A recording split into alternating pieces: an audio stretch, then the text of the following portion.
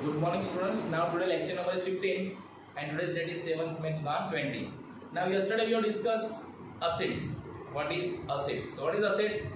So anything which has realizable value and which is owned by business that is known as a assets. And yesterday we have also seen classification of assets. So assets are classified in three ways.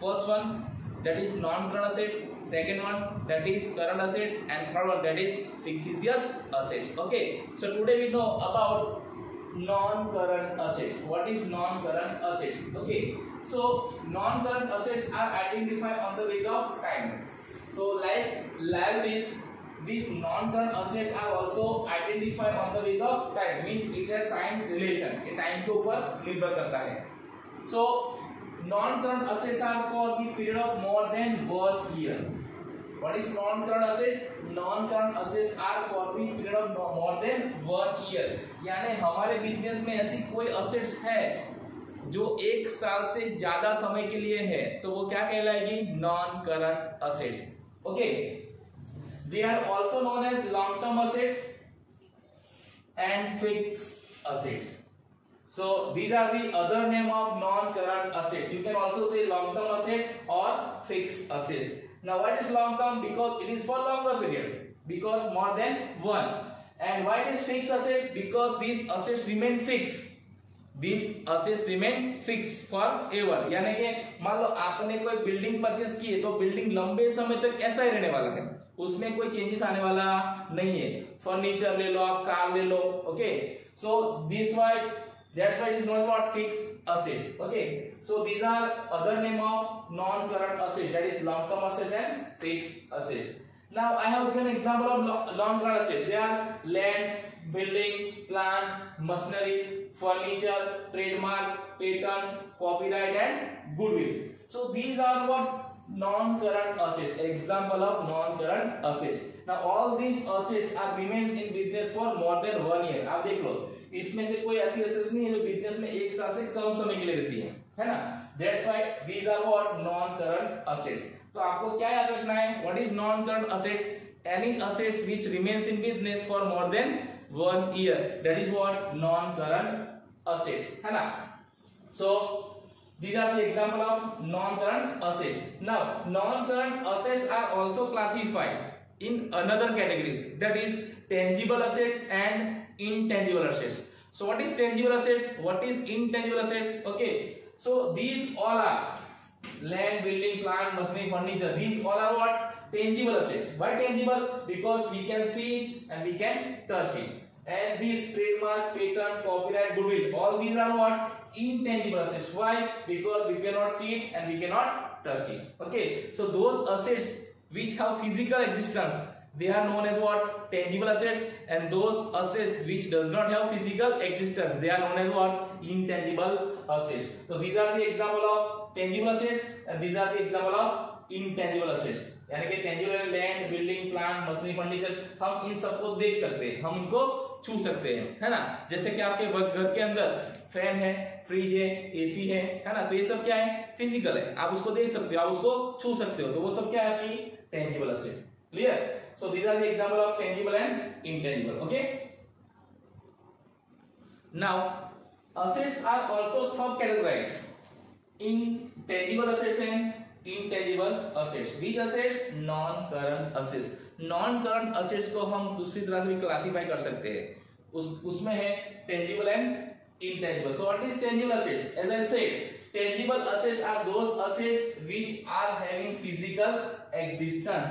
यानी ऐसी assets जिसका physical existence है। यानी physical यानी जिसको हम देख सकते हैं जिसको हम छू सकते हैं। हम किसी को दिखा सकते हैं। तो वो क्या होती है? Tangible assets tangible assets can be seen and can be touch ये दो इंपॉर्टेंट है। उसको हम देख सकते हैं और उसको हम छू भी सकते हैं। तो बिज़नेस में ऐसी कोई असेट्स हो जिसको हम देख सकते हैं और जिसको हम छू सकते हैं। All those are tangible assets for example land building furniture plant machinery इन सबको हम देख सकते हैं और उनको छू सकते हैं। और इट इज़ अब category of non current assets so tangible assets are sub category of non current assets remember this so ना what is land you know what is building furniture plant न प्लांट जैसे मैंने आपको बोला था कि हर एक फ़ील्ड में हर एक वर्ड का, उसका खुद का मीनिंग होता है। जैसे अगर हम यहाँ पे प्लांट की बात करते हैं तो किस प्लांट की बात करें? कंपनी के अंदर प्लांट्स होते हैं मैन्युफैक्चरिंग प्लांट्स होते हैं, उसकी बात कर रहे हैं। लेकिन अगर हम बायोलॉजी ले लें, या जनरल मीनिंग ले लें प्लांट का तो क्या होता है उसका मीनिंग कोई पौधा, है ना? So see plant has different meaning in accountancy so it is what where you are doing production of goods, okay? That is plant and machineries. So these all are what? Tangible assets. Because we can see and because we can touch. Okay? So this meaning of tangible assets. So you can say tangible assets means what? Any assets which can be seen and which can be touched. That is what tangible assets. Okay? Remember. Now intangible assets. So intangible assets do not hold physical existence intangible assets do not hold physical existence यानी हमारे पास अगर intangible assets है तो उसका physical existence होता नहीं है। अगर हमसे कोई पूछे, आप दिखाओ तो हम दिखा सकते नहीं है। Because it is intangible and this assets can not be seen इसको हम देख नहीं सकते एंड इसको हम छू भी नहीं सकते। This assets can not be seen and touch so if question is there which assets cannot be seen and cannot be touched so what is your answer intangible assets and which assets are seen and touched tangible assets example of tangible assets then land building furniture plant machinery and example of intangible assets that is trademark goodwill patent copyright all these are what assets of the business but what kind of assets intangible ये हमारे पास होती है लेकिन हम किसी को दिखा सकते नहीं है for example goodwill so what is goodwill goodwill means what reputation of the firm in the market हमारे फर्म की बाज़ार में जो रेपुटेशन है, वो, अगर हमसे कोई पूछता है कि आपकी गुडविल दिखाओ तो हम उसको ऐसे दिखा सकते हैं? नहीं, लेकिन रेपुटेशन कैसे डिसाइड होती है? फ्रॉम दी प्रॉफिट हमारे प्रॉफिट के ऊपर। हमारा बिज़नेस कितना प्रॉफिट करता है? अगर हमारा बिज़नेस सबसे ज़्यादा प्रॉफिट करता है तो हमारी फर्म की मार्केट में गुडविल है, ऐसा हम कह सकते हैं। क्यों? क्योंकि जब गुडविल कब होती है? जब हम सबसे ज़्यादा प्रॉफिट अर्न करते हैं बाज़ार में, तब। और हम सबसे ज़्यादा प्रॉफिट अर्न कब करेंगे? जब सबसे ज़्यादा सेलिंग हमारा होगा, तब। और हमारा सेलिंग सबसे ज़्यादा कब होगा? जब हमारी प्रोडक्ट क्या होगी? क्वालिटी वाइज होगी, है ना? हम अच्छी सर्विस देते होंगे और हमारा बिज़नेस सबसे पुराना होगा okay so this is what goodwill so it is intangible assets so it is also assets of the business same way trademark patent copyright all these are the intangible assets of the business. So what is intangible assets? So all those assets which cannot be seen and which cannot be touched they are intangible assets and they do not hold physical existence. And for example goodwill patent trademark and copyright. So this is what tangible and intangible assets. Okay so we have seen non current assets. Now we'll see current assets. Okay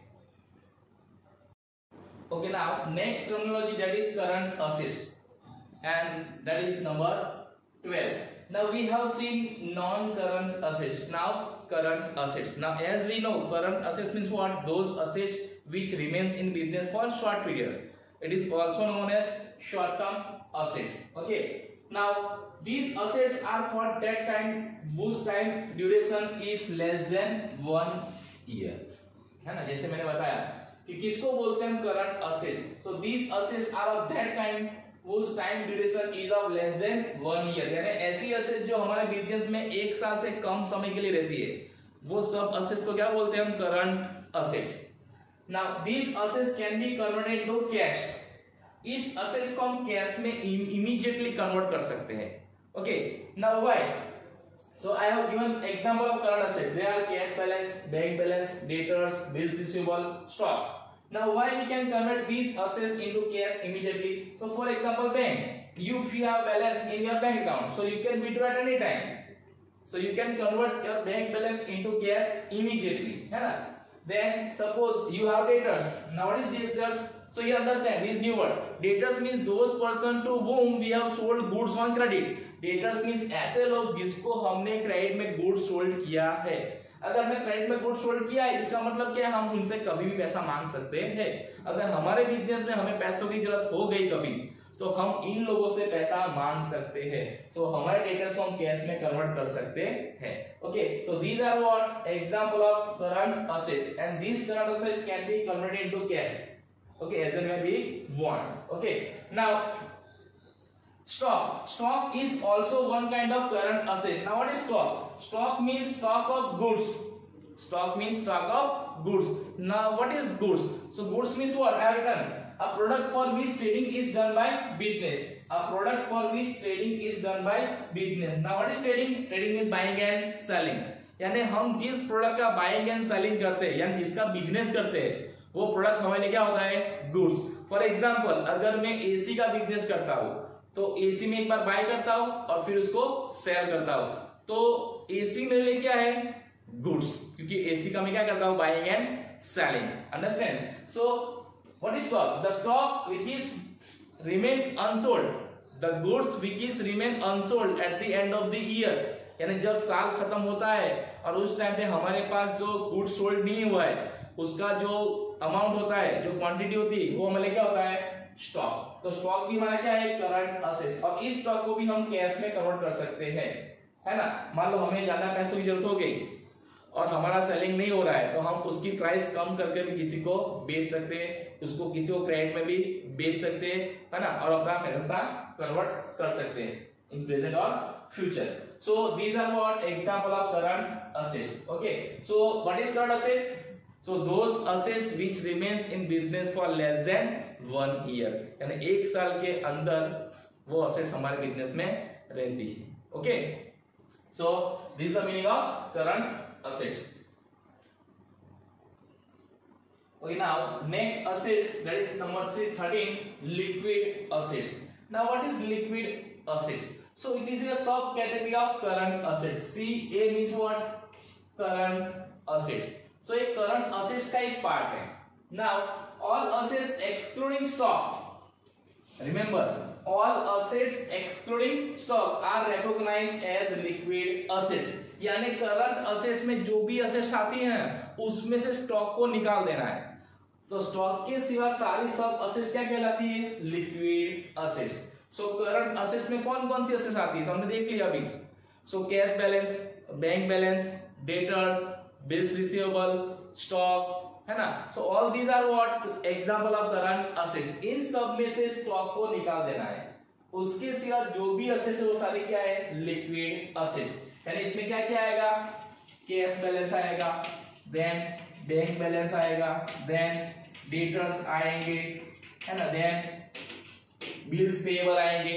Okay so all these are what example of liquid assets. Okay so what is liquid assets? All assets excluding stock are recognized as liquid assets. Now what is liquid? What do you understand by liquid? So those assets which can be immediately converted into cash immediately or quickly they are known as what? Liquid assets. So these assets can be converted into cash quickly.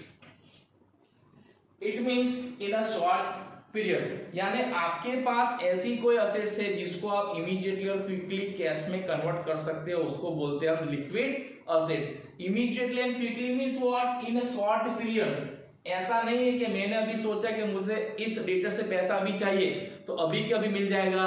नहीं. आप उसको inform करोगे, फिर आपको वक्त देगा, है ना?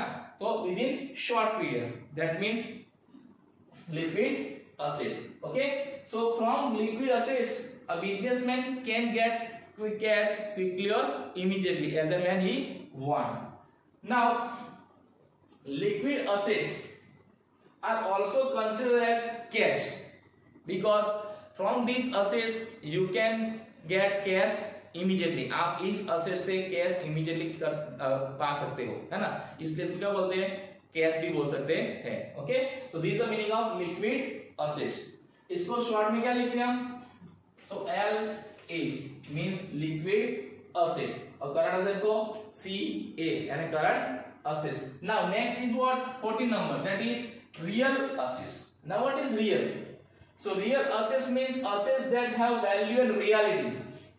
Real assets यानी क्या? हमारी बिज़नेस में बहुत सारी असेट्स होती है. लेकिन उसमें से जिस असेट्स का वैल्यू होता है रियल में, उसको बोलते हैं हम रियल असेट्स अब रियल वैल्यू मीन व्हाट अगर हम उस असेट्स को बाज़ार में बेचने के लिए जाए, मान लो हमें कोई सेल करना है उस असेट्स को तो उसमें से हमें कुछ पैसा मिलना चाहिए। उसको बोलते हैं real assets so what is real assets real assets means assets that have value in reality आपके पास ऐसी असेट्स है, लेकिन उसका कोई वैल्यू नहीं है तो आपकी रियल असेट्स नहीं है। तो बिज़नेस में एसेट्स कैसे होनी चाहिए? रियल यानी जिससे फ्यूचर में हमें पैसा मिल सकता है। अगर हम उसको बेचने जाए तो तो उसको बोलते हैं रियल असेट्स ओके ना this means it has realisable value it has realisable value now what is realisable value यानी हमारे पास कोई चीज़ है और उसको हम बाज़ार में बेचने के लिए जाए तो उससे हमें कुछ पैसा मिलेगा। तो उसको बोलते हैं रियलाइजेबल वैल्यू फॉर एग्ज़ाम्पल एक चॉकस्टिक है। अगर मैं इसको बाज़ार में बेचने के लिए जाऊँ और मुझे इससे एक रुपया मिलता है है ना? तो it is what assets but उससे मुझे कुछ नहीं मिलेगा। तो ये असेट्स नहीं है. क्लियर सो so, ऐसी कोई भी चीज़ जो आपके पास है आप उसको बेचने के लिए बाज़ार में जाओगे और आपको उससे कुछ भी पैसा मिलेगा अगर आप उसको बेचोगे तो वो आपकी क्या है? रियल असेट्स क्लियर तो आपको ये भी देखना है कि आपकी बिज़नेस में रियल असेट्स कितनी है. वैसे हम देखने जाए तो बहुत सारी असेट्स दिखती है लेकिन उसमें से कुछ असेट्स कैसी होती है जिसका मार्केट में कोई वैल्यू नहीं है. है ना? तो हमें कौन सी असेट देखनी है? रियल असेट जिसका मार्केट में वैल्यू हो. Clear now from this sale of such assets if money can be realised then they are known as real assets अगर आपके पास ऐसी कोई असेट्स है जिसको बेचने से आप पैसे को रियलाइज़ कर सकते हो, पैसे पा सकते हो, अगर आपको पैसा मिलता है तो वो सारी असेट्स क्या है? रियल असेट्स ओके सो आपको बिज़नेस में ये भी देखना है कि आपके पास कितनी रियल असेट्स है। और हमें उसको इंपोर्टेंस देना है। जिस असेट्स का वैल्यू नहीं है बाज़ार में तो उसको हम इंपोर्टेंस देते नहीं और जिसका वैल्यू है उसको हम इंपोर्टेंस ज़्यादा देते हैं और उस सामने ये भी देखते हैं कि जिस असेट्स का वैल्यू ज़्यादा है, उसको हम इंपोर्टेंस ज़्यादा देते हैं और जिस असेट्स का वैल्यू है लेकिन बहुत कम है तो उसको हम ज़्यादा इंपोर्टेंस देते नहीं है clear so this is what real assets okay so liquid assets and real assets. Now next that is fictitious assets. Okay. Okay. Now 15 number, that. Now as we have seen there are three types of assets: non-current, current, and fictitious. So we have seen non-current and current. Now third one that is fictitious assets. So it is also known as paid revenue expense or deferred revenue expense. Remember, by which other name fictitious assets are known. So, paid revenue expense or deferred revenue expense. Okay. Now, what is fictitious assets? So, fictitious assets do not have physical form. ये कोई physical form में होता नहीं है। Physical form में नहीं होता नहीं। इसको हम देख नहीं सकते और उसको हम छू नहीं सकते। Okay that is the first point second realisable value of fictitious assets is zero इसकी रियलाइजेबल वैल्यू कोई नहीं होती है। इसकी रियलाइजेबल वैल्यू क्या होती है? ज़ीरो यानी इससे कोई पैसा मिल सकता नहीं है। Then third one this assets can not be convert into cash इसको आप कैश में भी कन्वर्ट कर सकते नहीं है। सो so, पहले तीन fictitious assets do not have physical form realisable value of fictitious assets is zero and this these assets cannot be converted into cash. ये तीन पॉइंट्स हमें याद रखने हैं। किसके? ये fictitious assets. Now why? Why it is an asset? Still is has no cash. It has value zero. इसका मतलब क्या है कि असेट से फिर इसमें से हमें कैश नहीं मिल सकती है। इसका वैल्यू ज़ीरो है, ये कोई फ़िज़िकल फॉर्म में नहीं है। So remember this is non recurring expense actually ये असेट नहीं है, ये क्या है? Non recurring expenses non recurring expenses यानी क्या? ऐसे एक्सपेंस जो बार बार नहीं होते हैं। Okay that the benefit of this expense is available for the period of more than one year और ये ऐसे एक्सपेंस है जिसको हमने एक ही बार किया है, लेकिन उसका बेनिफिट हमें बार बार मिलने वाला है। बार बार यानी मोर देन वन ईयर यानी पाँच साल, दस साल, पंद्रह साल। यानी एक्सपेंस आपको एक बार करना है, लेकिन बेनिफिट कब तक मिलेगा आपको? More than one year okay so it is what non recurring expense यानी आपको एक्सपेंस एक बार करना है, लेकिन उसका बेनिफिट आपको मोर देन वन ईयर तक मिलता रहेगा।